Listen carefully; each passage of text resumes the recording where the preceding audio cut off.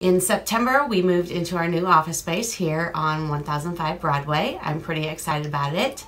It's a nice location right off the square, still again. But at this location, I am able to have all of my supplies in one spot.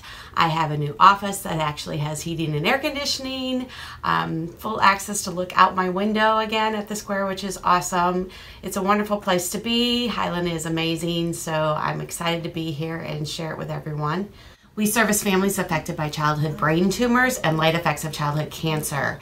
Uh, luckily, the kids are actually living longer nowadays, so late effects are becoming a main problem for them. So, educating the families and keeping the families together as a whole because cancer affects the whole entire family, not just the child on treatment.